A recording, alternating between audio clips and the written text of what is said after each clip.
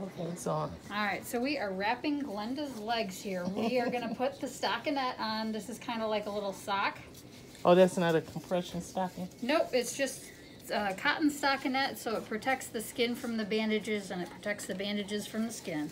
Wow, So double protection. just just kind of like a sock, like you wear a sock with your shoes. Okay. Then we're gonna put Um, little is bit it of any foam. particular type of fabric? this is cotton. Cotton. Okay. Yep. This is four inch cotton stockinette, and then um, we're gonna put a couple little pieces of foam. This is Rosidal foam, but any any light foam will work. We're gonna put one piece around her ankles here, this shorter piece, and then we're gonna put a strip that goes over the top of her foot, up her shin bone, and this is just gonna give a a little bit of padding and a little bit of give to those bandages. We're gonna start with our narrowest, smallest bandage. And we're gonna start where the toes start. So her toes are gonna peek out. And the, the foam's gonna start there too. We're gonna do a few layers right where the, the toes start. I do something called a herringbone pattern, but if you wanna keep it simple, you can just spiral up. The trick is we're not doing it real, real tight. We're just layering, and the more layers is the more compression. So you want more layers down low, less as you work your way up. The real tricky part is getting that little piece of uh, foam trapped on there, and once that's on there, you're uh, in good shape. But we're moving from the toes upward.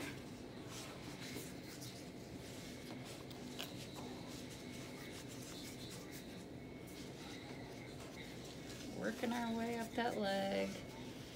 And you'll find that your tiny little bandage should make it to about the ankle.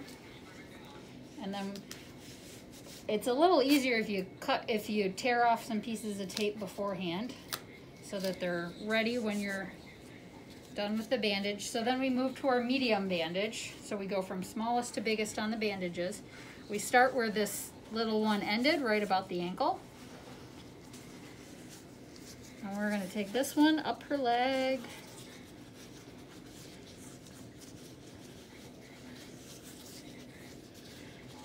This one's not gonna be quite as layered because we're doing less layers as we work our way up.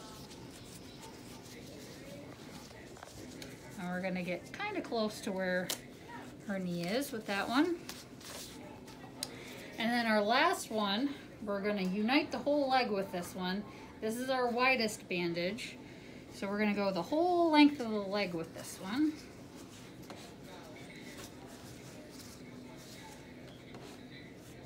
Starting from where the toes start, spiraling our way up.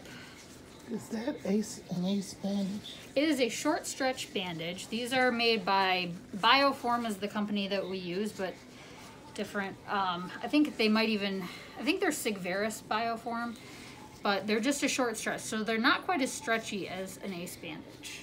Okay. That's the main difference, but Are they a certain length? Um, I think they're 10, gosh, I want to say they're 10 meters.